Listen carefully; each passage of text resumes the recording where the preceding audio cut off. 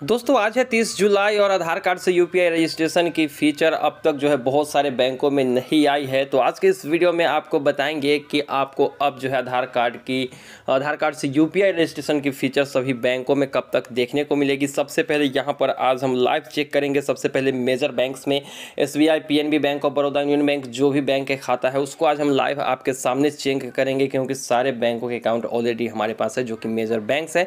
तो चलिए सबसे पहले यहाँ पर चेक करते हैं लाइव उसके बाद बात करते हैं कि कब तक ये फीचर आपको देखने को मिलेगी। तो यहाँ पर आप देख सकते हैं, हमने उस अकाउंट में लॉगिन कर लिया है, जहाँ पर बहुत सारे मेजर बैंक्स के अकाउंट हमारे पास पड़े हुए हैं। यहाँ पर आप देख सकते हो Corporation Bank State Bank of India Union Bank Bank of Baroda P सारे बैंक्स के अकाउंट जो है यहाँ पर ऑलरेडी एडेड हैं। तो चलिए एक एक करके इन सभी बैंकों में हम चेक कर लेते हैं। हालाँकि भीम यूपीआई के अंदर ही आपको बता दें कि ये जो फीचर आती है, वो भीम एप्लीकेशन में ही हमें देखने को मिलती है।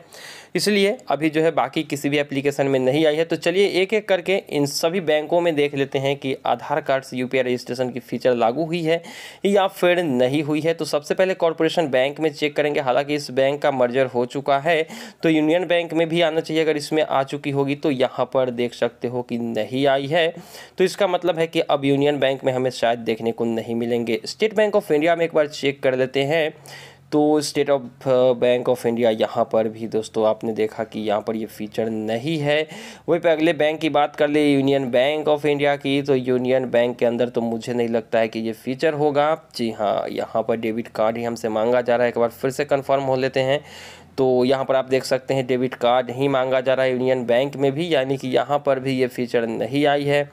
यहाँ पर बैंक ऑफ़ बड़ौदा की बात करें तो बैंक ऑफ़ बड़ौदा ने हमें आज तक जो है डेबिट कार्ड दिया ही नहीं है, जब से हमने अकाउंट ओपन कराया शायद 2020 में अकाउंट ओपन कराया था और यहाँ पर डेबिट कार्ड मुझे मिला नहीं आज तक, कई बार ब्रांच भी गया लेकिन डेबिट कार्ड नहीं मिला। तो यहाँ पर देख लेते हैं, अब मुझे चूँकि आधार कार्ड से ही करना होगा यूपीआई पिन सेट और यहाँ पर भी आपको जो है डेबिट कार्ड ही मांगा जा रहा है। पता नहीं कब तक जो है ये बैंक लॉन्च करेगी आधार यूपीआई फीचर। आखिरी बैंक की बात करते हैं, जो कि है पंजाब नेशनल बैंक, जिसकी हालत कुछ ठीक है नहीं। तो चलिए यहाँ पर चेक कर लेते हैं, आधार यूपीआई से रजिस्ट्रेशन की फीचर नहीं दोस्तों। यहाँ पर भी आपको डेबिट कार्ड की ही ऑप्शन मिलेगी तो हमने अभी लाइव आपके सामने सारे मेजर बैंक्स में चेक किए, जितने भी सरकारी बैंक लगभग थे, सब में हमने चेक किया। किसी में भी आपको आधार कार्ड से यूपीआई रजिस्ट्रेशन की फीचर नहीं मिली है। अब बात कर लेते हैं कि मिलेगी कब तक आखिर ये फीचर तो दोस्तों, आपको बता दें कि आज आखिरी दिन है। वैसे तो इकतीस तारीख की जुलाई होती है, लेकिन ऐसे हम तीस दिन मान के चलते हैं। तो आज रात तक जितने भी बैंक हैं ना, जितने भी बैंक के अकाउंट होल्डर हैं आप लोग आप लोग एक बार चेक करके हमें कन्फर्म करिए कमेंट सेक्शन में चूँकि आज जो है ना, भीम यू भी स्लो वर्क कर रहा है। कभी कभी ट्राई अगेन इशू आ रही है लॉग करते हुए तो हो सकता है कि आज इसमें जो है इंप्लीमेंटेशन कुछ बैंकों में देखने को मिले।